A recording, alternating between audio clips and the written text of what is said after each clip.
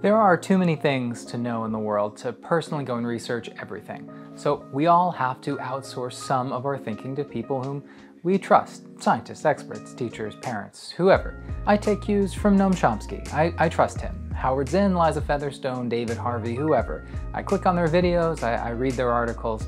I, I take cues from them because I trust that what they have to say has value. That's the in-group. Now, the out-group. Let's say any of the brain cretins at PragerU. In a different way, I trust them too. I can trust that whatever they have to say is fundamentally wrong in some way or another. They are a negative indicator for me. So I may take a cue from them, but it may result in an attitude backlash from me. Because when I hear Ben Shapiro talk about something he hates, it makes me like that thing, even if it's something I also hate. And so this is the concept in a paper by Eric Merkley and Dominik A. Stecula. They argue that backlash to outgroup cues from Democratic elites played an important role in Republican voters becoming so averse to climate science. I.e., I saw Nancy Pelosi talking about climate change. Man, that makes me mad. I wasn't thinking about climate change, and now I'm thinking about how much I hate it. More or less. So while people are responsive to signals from their own party's elites, partisans may also be responsible to outgroup cues where they are repelled by signals from the opposing party's elites. For example, according to one of their citations, since Democratic elites were mixed on the Iraq War, but Republican elites were unified in favor of it, Democratic voter opposition to the Iraq War may have been less because some Democrats opposed it and more because all Republicans supported it. As the paper explains, a lot of the literature on opinion formation and persuasion focuses on persuasion by in-group elites, but the researchers found the most consistent factor that predicts climate skepticism in the public are cues from Democratic Party elites. That Democratic elite cues lead rather than follow public opinion. They preempt public opinion. And so Climate skepticism comes from both GOP cues and Democratic cues, and refreshingly, they emphasize the role of the media in this because that's how political messages are communicated to the public. When you learn about something the Secretary of State said, was it because you check the State Department's website every day? No, of course not. It's because it came filtered through your preferred news source. Interestingly, they did not find the same attitude backlash in Democratic supporters against Republican elites, which they chalk up to a ceiling effect. Democrats already accept the idea of man-made climate change, so they can't be made to accept it even more. Uh, although, and this wouldn't have been in the scope of the study, but it doesn't address the constellation of issues comprising climate change and the extent to which mainline Democratic voters support them or could be made to feel antagonistic toward them. So your average CNN viewer accepts the reality of climate change 100%. But if someone to the left of them were adamant about the need for a fracking ban and strident in the claim that centrists are climate deniers for being malleable on fracking, could that average CNN viewer have an attitude backlash and come to view anti-fracking advocacy as an assault on their politics? I would guess the answer is yes to some degree.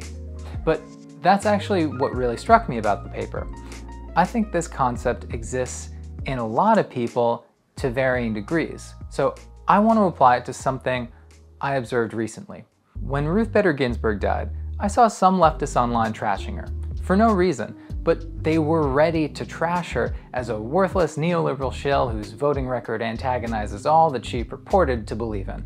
And as soon as legitimate criticisms were launched into the arena, how she should have retired in 2013 and the things she said about Colin Kaepernick, those items were bandied around. And I don't blame people for doing this because the hagiography of RBG by liberals was insane, and the way her death naturally faded into feverishly blaming Jill Stein for indirectly stealing a Supreme Court pick from Hillary, that was all really annoying. And so I'll admit that when I saw the coverage, when, when the news stopped and was replaced with shallow, gushing biography, I wanted to hate RBG too.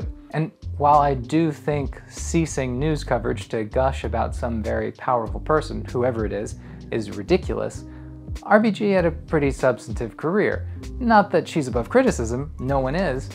And anyone who says it's not important to point out that she should have retired in 2013, they're just trying to shield themselves from the discomfort of an inconvenient fact. But the reaction from those leftists online had nothing to do with her career. It was just frustration with liberal pundits' obsessive coverage. And that reaction is really something that needs to be observed and controlled by all of us, because I do it too. Because invariably, at some point, your opposition's media is gonna say something of value. But if we're closed off to every single datum that comes from the mouth of someone we generally disagree with, we're likely committing ourselves to some level of ignorance. So I'm, I'm trying this thing that when I'm about to get angry about something, I try to think, would I be angry if it were someone else? Am, am I judging the action or the person? The authors of this study give a bit of a prescription for mitigating this phenomenon of Republicans being repelled by Democratic cues. They write that party elites who strongly identify with the scientific consensus on climate change or other issues must weigh the costs and benefits of aggressively communicating their stance in the mass media. If the goal is to convince as many people as possible, then by Democrats and liberal media putting Republican denialism at the center of climate change discussions, they may actually be engendering backlash denialism, and that the role of party elites in the formation of public attitudes on climate change suggests scholars should invest less time and resources in identifying messaging strategies to mobilize support for the climate consensus, finding ways to mobilize an elite consensus across partisan lines is perhaps the most promising strategy to bring public opinion alongside the scientific consensus on climate change. So it's a good paper. Uh, the idea is really interesting. I think it's something we should probably be grappling more with. Uh, I'll link it in the description. You can go read it yourself, but that'll be it for me. Uh, if you like this video, please subscribe. It helps other people find this. And now I'm going to hand it off to Kent Brockman. Kent, how's it going? This is Kent Brockman with a special live report from the headquarters of crusty opponent John Armstrong. How can I prove we're live? Penis.